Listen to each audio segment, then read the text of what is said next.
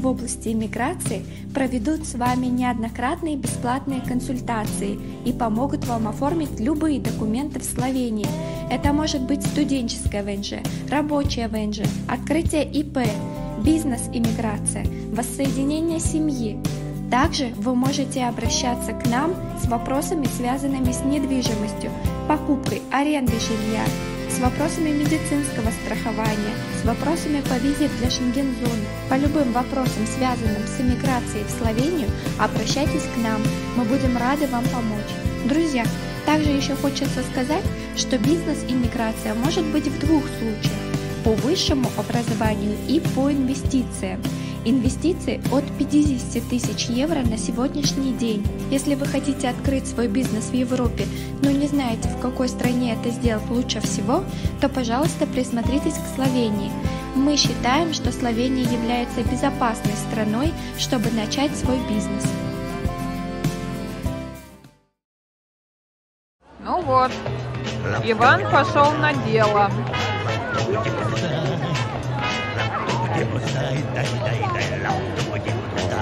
Меня не посвятил, в чем оно заключается.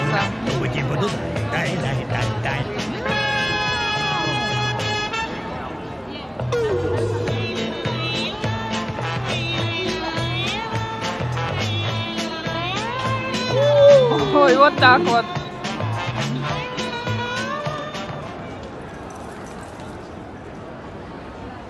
Здравствуйте, Иван. Ну как Да, ваше спас- новое место работы? Увенчалось успехом? Ребята, в Италии можно жить. Уже заработал деньжищ. Уже можно жить. Все, пойдем дальше. Ну вот, на сегодняшний день можно продолжить бюджетное путешествие. В ресторан. Пошли в ресторан, я тебя свожу.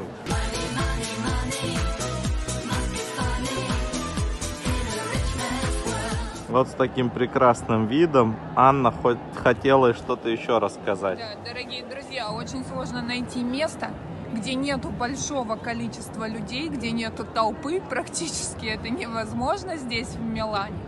Но вот нашли такое место с красивым видом на собор Дуома и немножко пробежимся, так скажем, обзор по итальянцам. Как на первый взгляд вот кажется, когда, конечно, мы уже не первый раз в Италии, даже не второй, но впечатление ни разу не поменялось, можно сказать так, что как кажется на первый взгляд. Итальянцы, они все небольшого роста, а, любят очень модную, стильную, яркую одежду. У них у всех хорошие, красивые, богатые волосы. Они любят яркий макияж. Губы красят в основном красной помадой. Тут хочу подметить, и не только женщины красят губы красной помадой. Итальянцы уже не те. Вот, что еще хочется сказать. От женщин чаще всего приятный сладкий запах парфюма. От мужчин э, чаще всего пахнет морской свежестью, но все ароматы парфюма очень насыщенные, но приятные. Также они любят красивую необычную фирменную обувь и кожаные сумки. На первый взгляд дружелюбные, улыбчивые. А, еще они любят носить модные фирменные очки, что сразу заметно с первого взгляда. Солнцезащитные очки, модные, фирменные, чтобы выглядеть более стильно. Женщины очень любят цветы и разные статуэтки, сувениры, покупают их даже сами себе в больших количествах, как это было замечено, пока мы гуляли по Милану. Ну, такой вот небольшой, кратенький обзор, но мне кажется, все равно интересно, как оно создается, первое впечатление о данной национальности итальянцы. Ну, кстати, я полностью совсем согласен. Единственное, конечно, Анна рассказала немножко сжато. И, наверное, не будем добавлять, да? Ну, что ты хотел добавить? Что мы встречали не совсем стандартные пары. Ну, Ну, да. это, наверное, в Евросоюзе явление не столь удивительное уже. Это удивительно для нас, для них Ну, Слушай, это уже, давай наверное, вот, как норма. не-не, давай вот э, скажем как есть. Для нас с тобой это удивительно, потому Да. что в Словении этого нету. Да, да, в Словении мы не так часто это встречаем. Только но когда туристический сезон, приезжают э, люди со всей Европы, тогда да. Мы видим это. Ну а здесь вот в Италии мы Да. уже много раз видели это в Милане, также часто встречали в Триесте. Это очень распространенные такие встречи, так скажем, нетрадиционных, э, сексуально нетрадиционных меньшинств. Также мы видели в Венеции, поэтому, ну как бы, ну Ну, вот как-то и еще так, самый- есть ситуация. И еще самый главный город, где их очень много, это... Это Милан, ну, Милан. А где еще больше? где еще больше? Давайте, я вот- только задачилась. Давайте вот Так я... сразу сходу не могу сообразить, Ну да. где их еще больше. Ну, их очень там много. Ну, Венеция мы перечислили, три Не Италия, не Словения.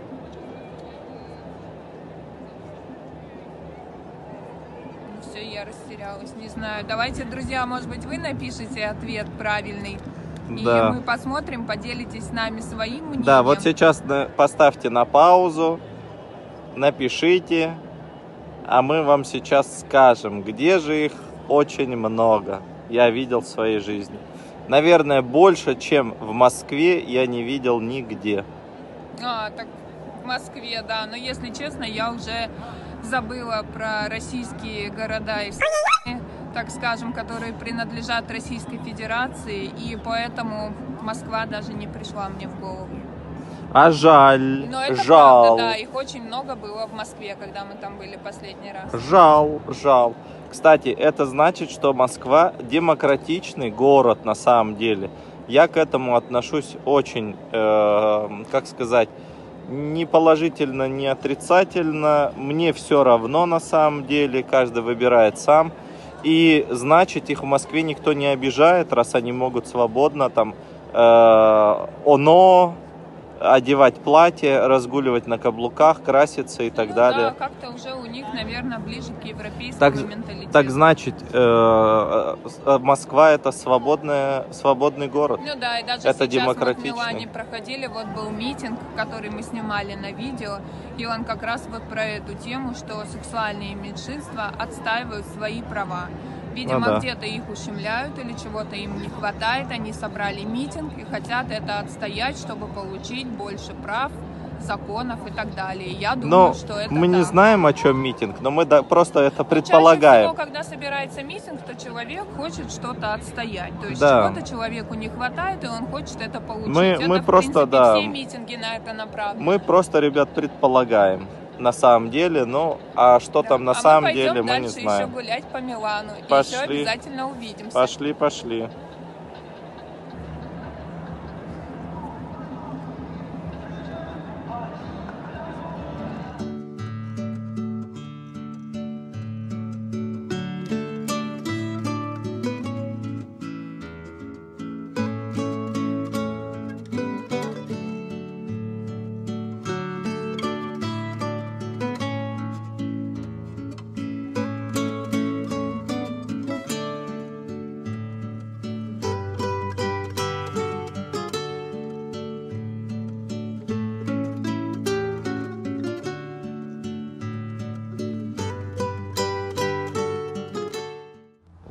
Отражаются, ты в этих, в лучах отражаешься.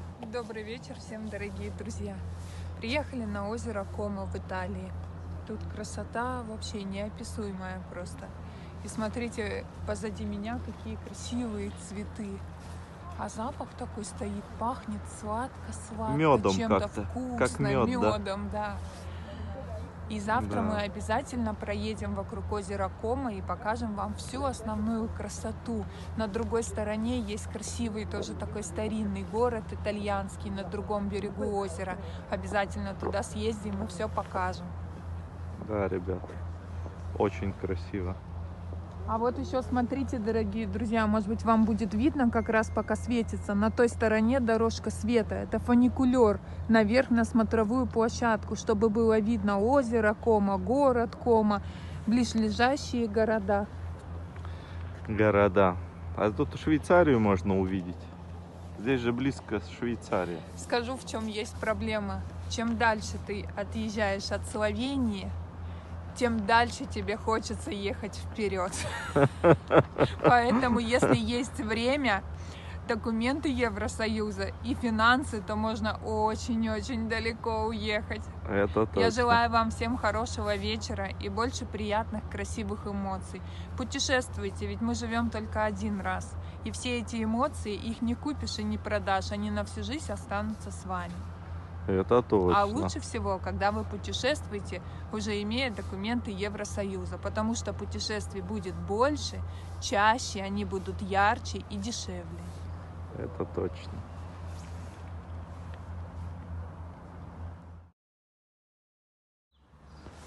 Доброе утро, друзья. А мы продолжаем наш бюджетный, наше бюджетное путешествие. Видите, итальянцы с утра все на спорте бегают. Я тоже на спорте, друзья. С утра вот снимаю для вас блог. Да, практически тоже бегаю, ищу красивые места, чтобы сделать красивый кадр. Мы только что проснулись на озеро Кома. Посмотрите, какая красота. Да, мы буквально проснулись на озеро Кома, потому что мы на автомобиле, и у нас бюджетная поездка, и мы спим тут вот э, за вот этой ограждением парковка. И мы там прям в машине ночевали. Красота, сказка. А вот озеро Кома, друзья. Озеро и озеро. Что придает ему такое, да, значение? Наверное, природа. То, что вот видите, у озера пальмы даже растут. Природа сказка. Тут тепло. Даже вот сейчас, в начале марта, очень тепло. Вот сейчас будет восход солнца. Вот из-за этой горы солнце будет вставать и будет еще теплее всем. Ну а мы пойдем, друзья, пить кофе. Вот там город Кома находится, вот это вот городок. Пойдем туда в город, попьем кофе, поснимаем для вас и поедем вот так вдоль озера, прокатимся, может найдем где-то какие-то красивые места, чтобы вам сделать фотографии. А так вообще здесь очень рядом, буквально вот за этой горой, вот за этой горой буквально находится Швейцария. В 10 минутах езды уже Швейцария, красота, сказка. Кстати, визы нам тоже не надо в Швейцарию. На Швейцарию мы снимем а, для вас отдельно. Это будет отдельно, раздельно. Не будем мешать Италию и Швейцарию. Может быть, другую страну перемешаем со Швейцарией. Посмотрим. А может, это будет отдельный выпуск. Швейцария тоже очень рядом, очень близко. И тоже можно на выходных посетить Швейцарию. Швизленд, как они говорят. Да, срочно надо кофе, друзья. Ну а вы не переключайтесь, заваривайте кофеечек, чаечек, и мы приступаем. Город Кома, друзья, Италия. Посмотрите, какой красивый собор. Просто потрясающий. Конечно, дома покруче будет, но и этот в маленьком городке тоже смотрится очень потрясающе красиво. Очень красиво. Площадь такая хорошая.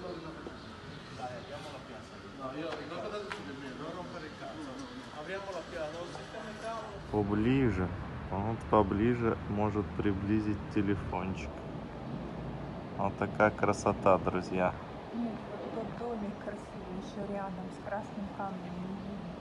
Это не передает, к сожалению, ребят, видеокамера.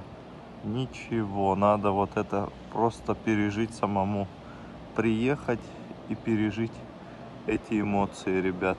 Какая красота. Да.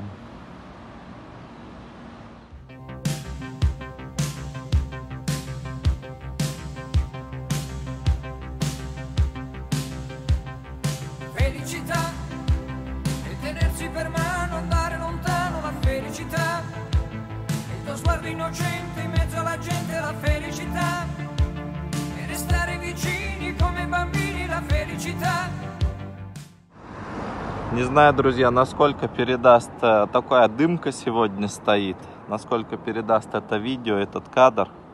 Но Кома действительно это потрясающее место в Италии. Очень красивое, ребят. Просто вот ехали, сделали остановку. И такая красота вокруг. Потрясающе. Там вон дорога, смотрите, как проходит. Очень красивое место. Потрясающее место.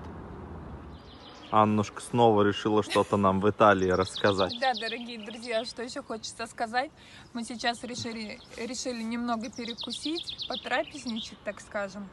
И я прям сразу подумала об этом, что, что мне очень нравится в Италии и в Словении, что цены на продукты очень-очень низкие.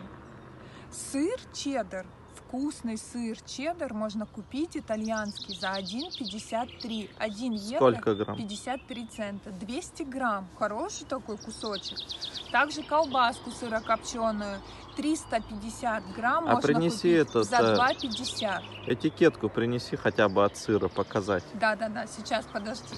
А то Также- не поверят же Также можно купить оливки, хорошие итальянские, либо славянские оливки, черные, зеленые, маслины, оливы по 69 центов, 99 центов. Дорогие друзья, вина.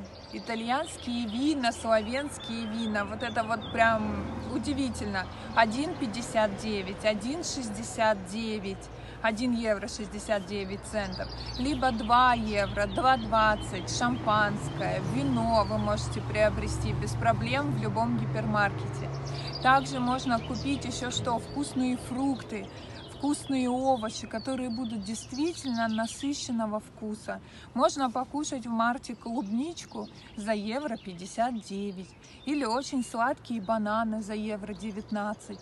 И все оно насыщенное. Помидоры, помидоры, когда ты открываешь, они пахнут как домашние, настоящие наши помидоры. Они красные, сочные. И полкило можно купить евро 69, либо евро 99. Они будут такие Кстати, вкусненькие. кстати, а, кстати, сейчас кстати. покажу. Э, Ребята, э, я вот купил помидоры, когда перед тем, как мы ехали в Италию, в Словении. Это были просто потрясающие помидоры. Очень вкусные. 500 грамм, 2 евро, 70 центов, по-моему, такая была цена. 79 центов, вот. Очень вкусные были помидоры. Просто даже, я не знаю, иногда попадаются такие, что даже вкуснее, чем домашние. Сейчас подождем Анну, не будем переключать камеру. Подождем и сделаем одним сюжетом. Она хочет показать цену. Вот, дорогие друзья, я взяла все, что смогла унести. Значит, смотрите, помидорки. Вот такие классные помидорки. Они бывают такие продолговатые, бывают кругленькие черри, красные, желтые. Полкило 500 грамм, 1,69, либо 1,99 в евро. Принесла упаковку от сыра, чтобы вы не подумали, что мы вас обманываем. Вот, смотрите, 200, г- 250 грамм, 250, 1,53. Давай я сыр чеддер, итальянский сыр. Так, что еще тут у нас? Вот он вот так вот выглядит, настоящий чеддер, оранжевенький, вкусненький сыр. Ага, сыр уже, в общем, ушел в ход. Подтверждаю. Оливки, итальянские оливки. Вот эта баночка стоит 0,69 центов. Тут получается 350 грамм, вот такие черные, без косточек. Ну, маслины, А наверное, слушай, я не знаю, вино можно в кадр? Ну давай. ну, чё. мы же его не пьем, просто показать. Вот Мгм. такое вот шардоне, белое вино, 1,99, итальянское, очень вкусненькое. Так что, Ох, друзья, как вы сладко заливаете, так что Анна. приезжайте и не только путешествуйте, но еще и испытывайте вкусовые удовольствия. Пойдем, пойдем пойдем тоже. пробовать. Грешить немножко. Красота, и птички поют. Очень красиво, ребят. Очень красиво. Сказочно красиво. Это Альпы. Альпы. Хочется кричать, но не буду пугать местных жителей. Скажут опять эти русские. Очень классно.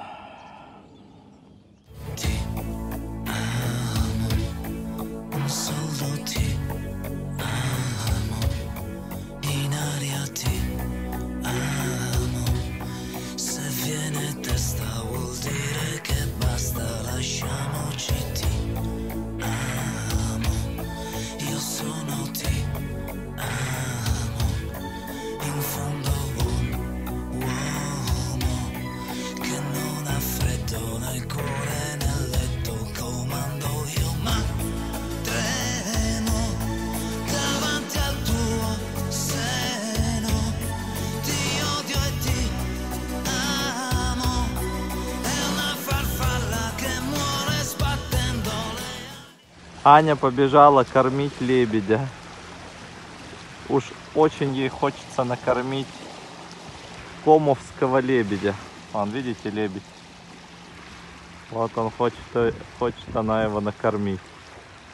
Бежит за лебедем. Не знаю, успеет, нет добежать. А лебедь вон как собаку гоняет, агрессивно. Ребят, друзья, находимся в Вероне. Народу просто тьма. Посмотрите, сколько людей. Это просто ужас. Просто ужас. Не протолкнуться. Очень много людей. Сейчас попытались зайти в дом Джульетты. Кстати, мало кто знает. А вот давай-ка ты меня засними. Мало кто знает, я немножко расскажу. Джо. Давай. Камера, мотор камеры.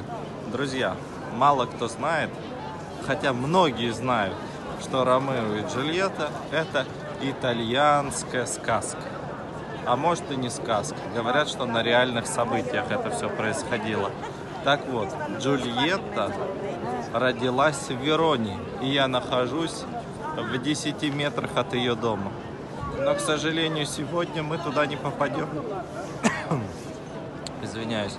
Сегодня мы туда не попадем, потому что... Потому что потому. Очень много людей, большие очередя. Кстати, об Италии. Мало кто знает. Итальянские факты. Сейчас, что я вспомню из своей головы? Я знаю, что два карликовых государства находятся в Италии. Одно из них Ватикан, а второе вы напишите в комментариях. Я подсказку дам Сан, а вы дальше продолжите. Так вот, два карликовых государства. Ватикан самое маленькое карликовое государство. А также в Италии была придумана пицца. Хотя они никак это доказать не могут, но доказали единственное, что впервые в Италии открыли пиццерию. Это доказано, не помню в каком году. А, также об Италии. Одна из первых империй итальянских была. Кстати, к Италии вылетели все факты. А, и придумали ви- виолончель итальянцы. Анюта, ты знаешь что-нибудь, что итальянцы придумали? К Что в Италии? нет. Нет. А, город на воде Венеция, все знают, да? А, сохранившийся Колизей до наших дней. А, кстати, в фонтане в Риме, в знаменитом фонтане, не помню только как он называется, каждый год достают 3000 3000 евро. Ежегодно туда бросают туристы. А еще знаю, что Италию посещают 40 миллионов туристов ежегодно. А еще знаю, что в Италии больше всего построено отелей. Италия может похвастаться. А также это четвертая страна в мире по туризму. Э.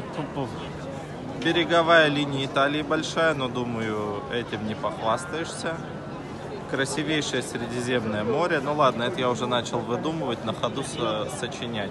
Может, что-то я мог бы еще вспомнить, но не буду растягивать трафик нашего видео, потому что у Анны руки не железные. Вот, дорогие друзья и наши телезрители, мы оказались в Вероне, в Италии. Вообще, после озера Кома в Италии и города Кома э, собирались отправиться домой, в Словению, в Любляну. Ехали по дороге по автобану и подумали, ну вот же она, Верона, вот здесь, в Италии, прям рядом. Еще ни разу там не были. Ну как не заехать? Ну как не посмотреть? Город, где жили Ромео и Джульетта. Знаменитая известная история любви. Во все времена, во всех странах, городах, во все годы всегда все крутилось вокруг любви. И также и здесь, в Вероне, очень красивая история. Но единственное, хотели зайти в дом Джульетты, чтобы посмотреть балкончик, ее статую, сам дом. Но, к сожалению, очень много народу, очень большие очереди, вход бесплатный, как мы поняли, но очередь очень большая. И сегодня, к сожалению, нет возможности стоять в такой очереди, потому что все-таки как хочется путешествовать и все смотреть, но все-таки, друзья, надо добраться до дома, до Словении, до Любляны и желательно приехать к вечеру. Что еще хотелось сказать? Что, конечно, Путешествовать очень интересно. Любим, э, любыми видами транспорта. Все путешествуют Подожди, как пусть хотят. проедет. Различными видами транспорта можно путешествовать на автомобиле, на самолете, кто-то путешествует на поезде, на велосипедах, на мотоциклах и так далее. Но что здесь хочется обратить внимание, что вот есть такие люди, путешествующие на мотоциклах, байкеры. Они, когда ты приезжаешь в другую страну, допустим, у тебя номера словенские, ты из Словении или из Швейцарии со швейцарскими номерами, находишься там в Италии, в Австрии или еще где-то, и когда они тебя встречают, они тебе по пути всегда показывают вот так вот, типа, классно, супер. Они любят людей, которые путешествуют. И вот мне кажется, что э, байкеры это абсолютно свободные люди. Те, которые путешествуют и не хотят они даже покупать автомобиль, чтобы не находиться внутри пространства автомобиля. Они хотят быть полностью свободными и выбирают самые красивые маршруты. Есть легенда, что где проехали байкеры, там самые красивые туристические маршруты. Так вот, э, дорогие друзья, к чему начала это рассказывать? Когда у вас есть документы Евросоюза, у нас с супругом есть документы Словении, мы живем в Словении, в Любляне. Когда у вас есть документы Евросоюза, вот это вот то же самое впечатление. Это ваш невидимый байк, на котором вы будете абсолютно свободно путешествовать и передвигаться. Ой, красиво сказала. В красивом городе красиво завернула, Желаю друзья. вам всем этого. Поддержите лайком Анну. Дорогие друзья, пока мы вам на видео рассказывали другие интересные факты и истории, идем обратно, а очередь-то уже рассосалась к дому Джульетты. И все-таки, все-таки мы попали, мы попали. Сейчас мы увидим дом Джульетты, знаменитый балкончик, где Джульетта кидала платочек своему Вон же он уже балкончик, пока Да. ты, пока вот ты, балкон. пока ты трендычишь, вон она. Иди за, И, конечно, знаменитая статуя красивой Джульетты. иди уже Джульетту хватай за прелести. Давай. О, самое главное, самый главный турист сегодня.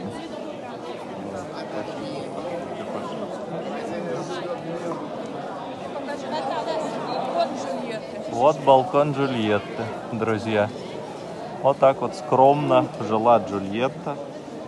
Сейчас Анна, видите, за что держат Джульетту все. Где Анна там пробирается? Не вижу, потерял. Вон она. Вон она.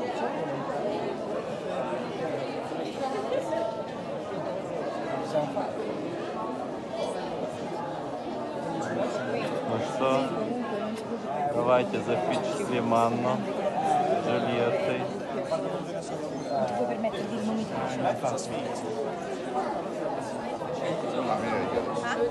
О,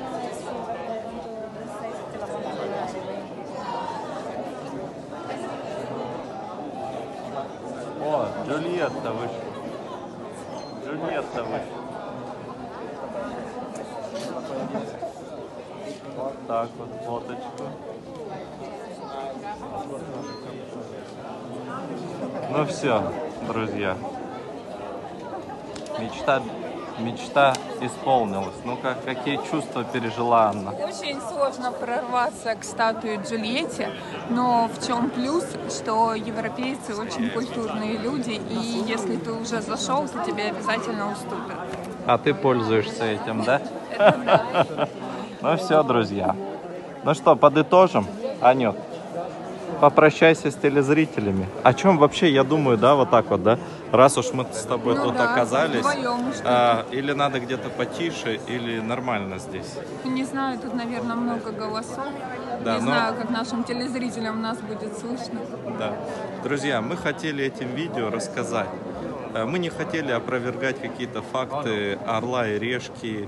Мы просто хотели показать, что и бюджетный турист может путешествовать, отдыхать, ездить э, в разные страны, ездить по разным городам. И для этого не обязательно, чтобы у вас был э, миллионный бюджет или э, цифры с множеством нулями на счету. Все очень просто. Вы просто берете и путешествуете. Главное, чтобы у вас были документы Словении. Самое главное, еще что хочется сказать. Конечно, путешествие у нас в этот раз было шикарным. Мы уехали в пятницу и возвращаемся в воскресенье. Мы посмотрели, заехали в Венецию, потом заехали в Милан, потом были на, ос- на озере Кома и затем приехали в Верону. Посетили четыре красивейших места. Конечно, очень я благодарна супругу за данное путешествие. Но в любом случае, что хочется сказать, конечно, когда возвращаешься обратно домой в Словению, в Любляну, немножко грустно, потому что кончается путешествие и начинается рабочая неделя. Но в чем основной плюс? Что ты знаешь, что скоро наступят другие выходные, и ты обязательно отправишься в новое путешествие. Тебе не нужно будет ждать получения визы, тебе не нужно будет покупать билет на самолет, тебе нужно будет просто взять свои документы Словении, сесть в автомобиль и снова путешествовать. И от этого чувство тоски быстро проходит. Всем пока-пока. До Да, новых встреч, друзья. Поэтому, дорогие друзья, мы с вами прощаемся и желаем вам, чтобы обязательно у всех, кто хочет жить в Евросоюзе и иметь документы Словении, либо какой-то другой страны, но мы больше говорим про Словению, потому что мы сами 4 года живем в Словении. Я вам желаю, чтобы ваши цели и мечты обязательно сбывались. И что хочется еще сказать, мы не обладаем никакими уникальными качествами, мы такие же люди, как и вы. Если мы смогли, то сможете и вы. Просто надо пробовать. Так, остановите Анну. Пока-пока. Да, все, пока-пока. До новых встреч, ребята. Подписывайтесь на канал, ставьте лайки и Я заказывайте. желаю вам отличного ВНЖ. дня и хорошего вечера. Пишите по любым вопросам, связанным с переездом в Словению. ВНЖ, студенческие, рабочие, открытие фирмы, открытие СП, недвижимость, страховка, любой переезд, туризм и все, что связано со Словенией, с Евросоюзом. И до новых встреч, дорогие друзья. Друзья, пока мы еще не уехали из Вероны, я бы хотел вам предложить разыграть одно ВНЖ в Словении. Но мы его будем разыгрывать при одном условии. Если этот ролик набирает свыше 10 тысяч просмотров, мы разыгрываем ВНЖ. Самое одно главное условие, мы не будем э, разыгрывать там компьютеры выбирает, пар- э, выбирает э, победителя. Нет, мы будем исключительно выбирать талант, ваш талант. Вы должны сочинить стих со словами «Сундук Travel» и получите приз бесплатную услугу от нашей компании в оформлении студенческого ВНЖ в Словении.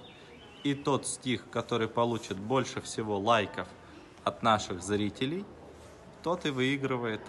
Розыгрыш будет объявлен в начале лета. Всем терпения, удачи и счастливчик в сентябре приедет к нам с новеньким ВНЖ на один год. И мы его все вместе поздравим. There's a place I have found in the shade on the ground, far from all worries and troubling sound. When I go there to be by myself, only need